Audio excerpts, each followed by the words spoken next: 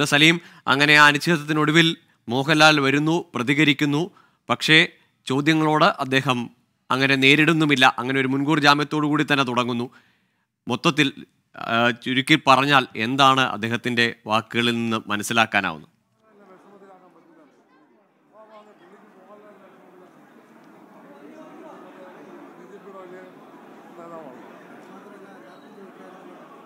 ഗോകുൽ ഇതുമായി ബന്ധപ്പെട്ട അമ്മ സംഘടന സിദ്ദീഖ് അത് ആദ്യഘട്ടത്തിൽ വിശദീകരിച്ച ഒരു വിശദീകരണമുണ്ട് ഒരു ന്യായീകരണം. അതിന്റെ തന്നെ ഒരേ മറ്റൊരു വർഷ വർഷനായിരുന്നു മോഹൻലാൽ ഇവിടെ നടത്തിയത് എന്നുള്ള കാര്യത്തിൽ തർക്കമില്ല. പക്ഷേ ഒരു കാര്യം പറയാതെ വയ്യ. നമ്മൾ പത്ത് നാൽപ്പത് വർഷമായി മോഹൻലാലിനെ സിനിമയിലും അല്ലാതെയും ഒക്കെ നമ്മൾ കാണുന്നതാണ്. നമ്മുടെ ആ കാലയളവിനിടയിൽ ഇങ്ങനെ നിസ്സഹായനായി മോഹൻലാലിനെ ഏതെങ്കിലും ഘട്ടത്തിൽ കണ്ടിട്ടുണ്ടോ എന്നറിയില്ല. അത്രയും മോഹൻലാൽ സംസാരിച്ചത് പോലും തുടക്കത്തിൽ തന്നെ വൈകാരികമായാണ് സംസാരിച്ച് തുടങ്ങിയത് തന്നെ. താൻ സിനിമാഭിനയം തുടങ്ങിയ സ്ഥലമാണ് തിരുവനന്തപുരം. അതേ സ്ഥലത്ത് തന്നെ ഇത്രയും ആ, നിസ്സഹായതയോടെ തീർച്ചയായും. അദ്ദേഹത്തിന്റെ വാക്കുകൾ തന്നെയാണ് ഇത്രയധികം ആരോപണങ്ങൾ പത്ത് മുപ്പത് എന്നൊക്കെ അദ്ദേഹം എണ്ണത്തിൽ പോലും അദ്ദേഹത്തിന് ഒരു അശക്തൻ എന്ന തരത്തിലാണ് അദ്ദേഹത്തിന്റെ പ്രതികരണം തന്നെ വരുന്നത്. ഇത്രയേറെ ആരോപണങ്ങൾ വരുമ്പോൾ ഇനി എന്താണ് ചെയ്യേണ്ടത്? അത് നിയമപരമായി സർക്കാരോ മറ്റ് ഏജൻസികളോ ചെയ്യട്ടെ എന്ന് പറഞ്ഞു വെക്കുമ്പോൾ തന്നെ അമ്മ എന്ന സംഘടന മലയാളത്തിലെ അഭിനേതാക്കളുടെ സംഘടനയാണ്. അതിന്റെ പ്രസിഡന്റായിരുന്ന അല്ലെങ്കിൽ അഡ്ഹോ കമ്മിറ്റി ഇപ്പോഴും നിലവിലുണ്ട്. അതിന്റെ പ്രധാനപ്പെട്ട ആളാണ്. അതിനപ്പുറത്തേക്ക് മലയാളികളാകെ ഉറ്റുനോക്കുന്ന സിനിമാ മേഖലയിൽ നിന്നുള്ള വ്യക്തിത്വമാണ്. അങ്ങനെ ഒരു ഇതൊരു ഈ ഈ ദശാസന്ധിയിൽ എന്ത് ചെയ്യും എന്ന ഒരു നിസ്സഹായത പറഞ്ഞൊഴിയുവാൻ അദ്ദേഹത്തിന് കഴിയുമോ എന്നതാണ് നമുക്ക് തോന്നുന്നത്. നമ്മുടെ സംശയവും അതാണ്. ആ കാര്യങ്ങളിൽ പക്ഷേ താൻ അശക്തനാണ് എന്ന് പറഞ്ഞ് അവസാനിപ്പിക്കുകയാണ്. ഇനി കഴിയുന്നവരാരെങ്കിലും ഇതിൽ മെച്ചപ്പെട്ട രീതിയിൽ സംഘടന മുന്നോട്ട് കൊണ്ടുപോകാൻ കഴിയുന്നവരുണ്ടെങ്കിൽ അവർ കൊണ്ടുപോകട്ടെ എന്ന് അദ്ദേഹം പറഞ്ഞു വെക്കുമ്പോൾ പോലും ഹേമ കമ്മിറ്റി റിപ്പോർട്ടിൽ ഇപ്പോൾ വന്നിരിക്കുന്ന പ്രതികരണങ്ങൾ അല്ലെങ്കിൽ അതിനുശേഷം വന്നിരിക്കുന്ന വെളിപ്പെടുത്തലുകളെക്കുറിച്ച് യാതൊരുവിധ പ്രതികരണത്തിനും അദ്ദേഹം തയ്യാറാകുന്നില്ല. ഈ റിപ്പോർട്ട് വന്നെങ്കിലും താൻ ഒരു ഘട്ടത്തിൽ പോലും ഒളിച്ചോടിയിട്ടില്ല എന്ന് അദ്ദേഹം വ്യക്തിപരമായ തന്റെ സിനിമകളുമായി ബന്ധപ്പെട്ട തിരക്കുകൾ വ്യക്തിപരമായ തിരക്കുകളൊക്കെ ചൂണ്ടിക്കാട്ടിക്കൊണ്ട് ആദ്യം തന്നെ പറഞ്ഞു ഒരു ഘട്ടത്തിലും ഒളിച്ചോടിയിട്ടില്ല. ഈ പ്രശ്നങ്ങൾ ഇത് സിനിമയിൽ മാത്രമുള്ളതല്ല. എന്നാൽ എല്ലാ മേഖലകളിലുമുള്ള പ്രശ്നങ്ങളാണ്. അപ്പോഴും ആലോചിക്കണം കൃത്യമായി ചോദ്യം അല്ലെങ്കിൽ ഹേമ കമ്മിറ്റി റിപ്പോർട്ടിൽ തന്നെ പറയുന്നുണ്ട് വേറൊരു മേഖലയും പെൺകുട്ടികൾക്ക് അവരുടെ മാതാപിതാക്കളെ കൂട്ടിക്കൊണ്ട് ജോലിക്ക് പോകേണ്ട സാഹചര്യമില്ല എന്നത്.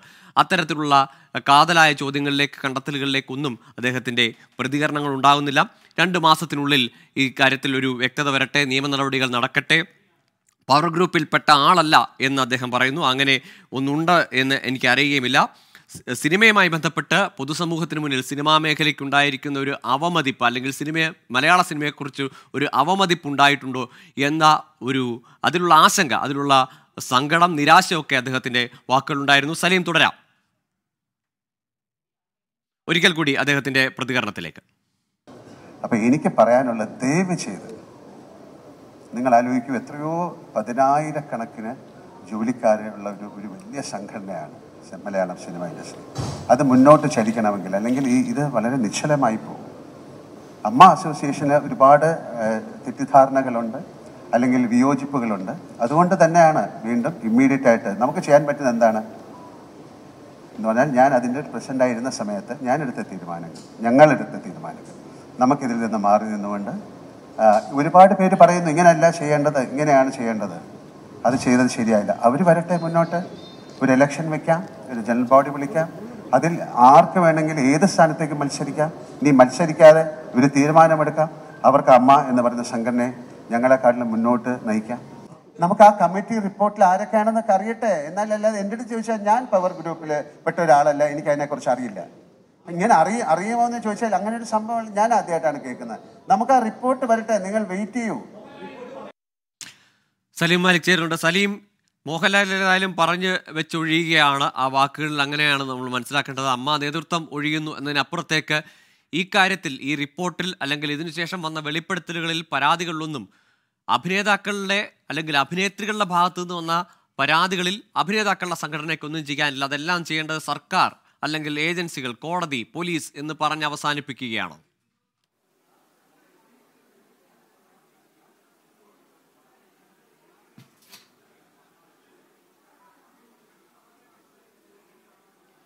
ഗോകുൽ തീർച്ചയായും ഞാൻ നേരത്തെ പറഞ്ഞ് സൂചിപ്പിച്ചതുപോലെ നമ്മൾ മോഹൻലാലിനെ കണ്ടു തുടങ്ങിയിട്ട് ഏറെ വർഷങ്ങളായി. നമ്മൾ ജനിച്ച കാലം മുതൽ ഞാനൊക്കെ ജനിച്ച കാലം മുതൽ മോഹൻലാലിനെ കാണുകയാണ് നമ്മുടെയൊക്കെ വീട്ടിലെ ഒരു അംഗത്തെ പോലെ. പക്ഷേ ഇത്രയധികം നിസ്സഹായനായി മോഹൻലാലിനെ ഏതെങ്കിലും ഘട്ടത്തിൽ സിനിമയിലല്ലാതെ കണ്ടിട്ടുണ്ടോ എന്ന് ചോദിച്ചാൽ ഇല്ല എന്ന് തന്നെയാണ്. അത് ആ മുൻകൂർ ജാമ്യത്തോടു കൂടി മോഹൻലാൽ സംസാരിച്ചു തുടങ്ങുന്നു എന്നുള്ളത് മാത്രമല്ല മോഹൻലാലിനോടുള്ള എല്ലാ ബഹുമാനവും നിലനിർത്തിക്കൊണ്ട് തന്നെ നമ്മൾ പറയേണ്ടി വരും. ഉത്തരവാദിത്തപ്പെട്ട ഒരു സ്ഥാനത്തിരുന്നയാൾ അമ്മ അമ്മയുടെ തലപ്പത്തിരുന്നയാൾ അതല്ലെങ്കിലും മലയാള സിനിമയിൽ ഏറ്റവും കമാൻഡിംഗ് പവറുള്ള ഒരാൾ പറയേണ്ട മറുപടി അല്ല ഹേമ കമ്മിറ്റി വിഷയത്തിൽ മോഹൻലാൽ നടത്തിയത് എന്നുള്ള കാര്യത്തിൽ തർക്കമില്ല. അതെല്ലാം ആരുടെയൊക്കെയോ ചുമതല ചുമലിൽ വെച്ച് ഇങ്ങനെ ഒരു സംഭവം ഉണ്ടായിട്ടുണ്ടോ? ഞാൻ കണ്ടിട്ടേ ഇല്ല എന്ന തരത്തിലാണ് മോഹൻലാലിന്റെ മറുപടി ഉണ്ടായത് എന്നുള്ള കാര്യത്തിലും തർക്കമില്ല.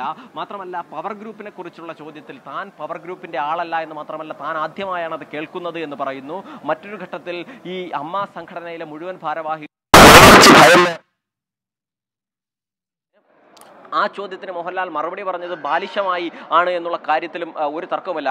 മോഹൻലാൽ അതിൽ പറഞ്ഞത് അങ്ങനെ പറയുന്നവരെങ്കിൽ അധികാരത്തിലേക്ക് വരട്ടെ അവർ ഇലക്ഷനിൽ മത്സരിക്കട്ടെ എന്നുള്ളതൊക്കെയാണ് മോഹൻലാൽ പറയുന്നത്. എന്തായാലും അത് അങ്ങനെ അങ്ങനെ ഒരു തിരഞ്ഞെടുപ്പ് ഉണ്ടാകുമോ എന്നുള്ളതൊക്കെ നമ്മൾ കാത്തിരിക്കേണ്ടതാണ്. മാത്രമല്ല മോഹൻലാൽ ഇത്രയും ദിവസം ഒളിച്ചോടിയതല്ല. ഒളിച്ചോടി എന്നൊരു വലിയ ആരോപണം മോഹൻലാൽ നേരിട്ടപ്പോൾ അതിനെ വളരെ വൈകാരികമായാണ് മോഹൻലാൽ അതിൽ സംസാരിച്ചത്. താൻ തന്റെ ഭാര്യയുടെ ചികിത്സയുമായി ബന്ധപ്പെട്ടായിരുന്നു ഉണ്ടായിരുന്നത്. മാത്രമല്ല തന്റെ പുറത്തിറങ്ങാനിരിക്കുന്ന ആദ്യമായി താൻ സംവിധാനം ചെയ്യുന്ന ബാറോസ് എന്ന സിനിമയുടെ പല പോസ്റ്റ് പ്രൊഡക്ഷൻ വർക്കുകളും ഉണ്ടായിരുന്നു. അതിനായി അതിന്റെ തിരക്കായിരുന്നു. അങ്ങനെ വിവിധ തിരക്കുകൾ കാരണം താൻ കുറേ കാലമായി കേരളത്തിൽ ഇല്ലായിരുന്നു. അതല്ലാതെ ഒളിച്ചോടിയതല്ല. മാത്രമല്ല താൻ മാധ്യമങ്ങളോട് സംസാരിച്ച് ശീലമുള്ള ഒരാളല്ല. തനിക്ക് മാധ്യമങ്ങളുടെ ചോദ്യങ്ങൾ നേരിടാൻ പോലും അറിയില്ല എന്നുകൂടി ആദ്യമേ തന്നെ പറഞ്ഞു. എനിക്ക് അങ്ങനെ അറിയില്ല എന്ന അങ്ങേയറ്റം നിസ്സഹായ അവസ്ഥയിൽ മലയാളത്തിന്റെ ഒരു സൂപ്പർ താരം അമ്മയുടെ തലപ്പത്തിരുന്നയാൾ പറയുകയാണ് എന്നുള്ളതാണ്. മാത്രമല്ല അതിൽ ആദ്യം തന്നെ പറയുകയാണ് തന്നെ വല്ലാത്ത ചോദ്യങ്ങൾ ചോദിച്ച് ബുദ്ധിമുട്ടിക്കരുത് എന്നാണ് മോഹൻലാൽ ആദ്യം തന്നെ പറയുന്നത്. മാത്രമല്ല ഇതിലൊരു ന്യായീകരണം കൂടി ഹേമ കമ്മിറ്റി റിപ്പോർട്ടിൽ കണ്ടെത്തി അങ്ങേയറ്റം ഗുരുതരമായ കണ്ടെത്തലുകളെ വല്ലാതെ ന്യായീകരിക്കുന്നുണ്ട് മോഹൻലാൽ. അത് പറയുന്നത് സിനിമ എന്ന് പറയുന്നത് സമൂഹത്തിന്റെ ഭാഗമാണ്. എല്ലാ മേഖലയിലും ഈ പ്രശ്നങ്ങളുണ്ട്. മറ്റെല്ലാ സ്ഥലത്തും സംഭവിക്കുന്ന കാര്യങ്ങൾ സിനിമയിലും സംഭവിച്ചു എന്നാണ് മോഹൻലാൽ പറയുന്നത്. പക്ഷേ അതിനെ താൻ പ്രോത്സാഹിപ്പിക്കുകയല്ല. മാത്രമല്ല ഹേമ കമ്മിറ്റി റിപ്പോർട്ട് ആ കമ്മിറ്റിക്ക് മുന്നിൽ താൻ രണ്ട് തവണ മൊഴി നൽകിയതാണ്. ഹേമ കമ്മിറ്റി റിപ്പോർട്ടിനെ സ്വാഗതം ചെയ്യുകയാണ്. തനിക്കറിയാവുന്ന കാര്യങ്ങളൊക്കെ അപ്പോൾ തന്നെ സംഘടനയുമായി പറയുകയും അവർക്ക് ഈ കമ്മിറ്റിക്ക് മുൻപാകെ പറയുകയും ചെയ്തു എന്ന് മോഹൻലാൽ പറയുന്നു.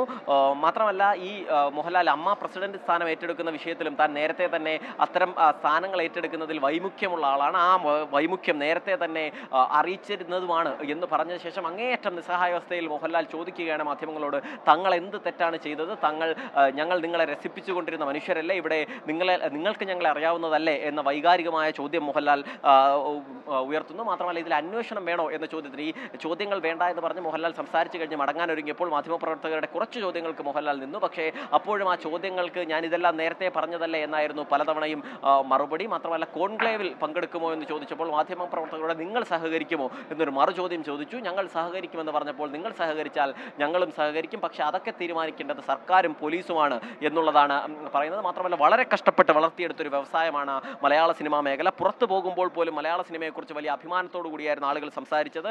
അവർ തന്നെ ഇപ്പോൾ മലയാള സിനിമയിൽ എന്താണ് സംഭവിക്കുന്നത് എന്ന് പറയുന്നു. ഈ വർഷം നിരവധി വലിയ വിജയങ്ങൾ ഉൾപ്പെടെ മലയാള സിനിമയുടെ സുവർണകാലം എന്ന് പറഞ്ഞതാണ്. പക്ഷേ അതിന്റെ പകുതി എത്തുമ്പോൾ വല്ലാതെ മലയാള സിനിമ അപമാനിക്കപ്പെടുന്ന ഒരു അവസ്ഥയുണ്ടാകുന്നു. പൊതുമധ്യത്തിൽ മോശമാകുന്ന അവസ്ഥയുണ്ടാകുന്നു. കുറ്റം ചെയ്തവരെ ആരെയും നമ്മൾ സംരക്ഷിക്കില്ല. അങ്ങനെ ഏതെങ്കിലും ഉണ്ടെങ്കിൽ അത് തെളിയട്ടെ എന്നുള്ളത് മാത്രമാണ് പറയുന്നത്. മാത്രമല്ല ഏറ്റവും പ്രധാനപ്പെട്ട ഒരു കാര്യം മോഹൻലാൽ പറഞ്ഞത് ഒരു മാധ്യമപ്രവർത്തകന്റെ ചോദ്യം ഈ പൊതുസമൂഹത്തിന് സിനിമയിൽ ചില പ്രശ്നങ്ങൾ ഉണ്ടല്ലോ എന്ന് ബോധ്യപ്പെട്ടല്ലോ എന്നൊരു ചോദ്യത്തിന് മോഹൻലാൽ പറഞ്ഞ മറുപടി ആർക്ക് ബോധ്യപ്പെട്ടു? പൊതുസമൂഹത്തിന് അങ്ങനെ ഒരു ബോധ്യത ബോധ്യപ്പെടലുമില്ല എന്നുള്ളതാണ്. അതായത് സിനിമാ മേഖലയിൽ പ്രശ്നങ്ങളൊന്നുമില്ല പ്രശ്നങ്ങളുണ്ട് എന്ന് പൊതുസമൂഹത്തിന് ബോധ്യപ്പെട്ടു എന്നുള്ള കാര്യം പോലും മോഹൻലാൽ ഇതുവരെ മനസ്സിലാക്കിയിട്ടില്ല എന്നുള്ള അങ്ങേയറ്റം നിർഭാഗ്യകരമായ ഒരു സംഭവം കൂടി നമുക്ക് അതുമായി ബന്ധപ്പെട്ട് ഉണ്ട്. അമ്മ അസോസിയേഷനിൽ തന്നെ ഒരുപാട് തെറ്റിദ്ധാരണകളും ഒക്കെ ഉണ്ട് അതൊക്കെ നിലനിർത്തിക്കൊണ്ട് അതാണ് സലീം. ഏതായാലും പൊതുമധ്യത്തിൽ ഉണ്ടായിരിക്കുന്ന അവമതിപ്പിനെ പറ്റി അദ്ദേഹം ആശങ്കപ്പെടുന്നുണ്ട്. പക്ഷേ അതിനെ അഡ്രസ്സ് ചെയ്യാൻ അതിനോട് പ്രതികരിക്കാൻ അല്ലെങ്കിൽ ഒപ്പമുള്ളവർക്ക് പറ്റിയ വീഴ്ചയെ പറ്റിയോ അല്ലെങ്കിൽ അവർക്കെതിരെ ഉയർന്നിരിക്കുന്ന പരാതികളെ പറ്റിയോ